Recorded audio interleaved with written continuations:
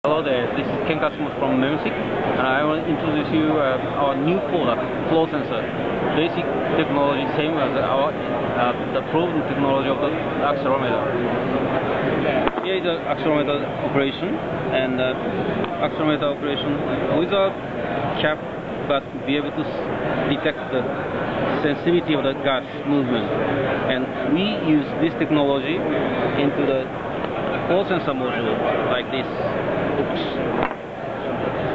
and put into the micro channel with combined the main flow channel then be able to detect the gas flow like this.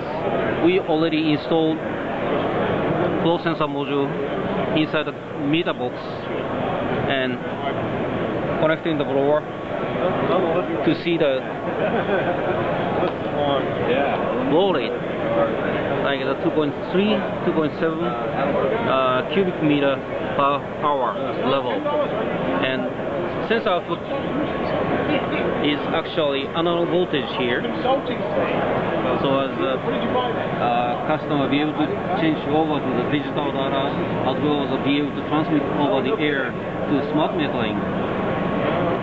This is a next generation new gas flow sensor for the meter application. And based on this flow sensor module, we will expand the product to several other form factor like as uh, the flow sensor for the automotive engine air intake and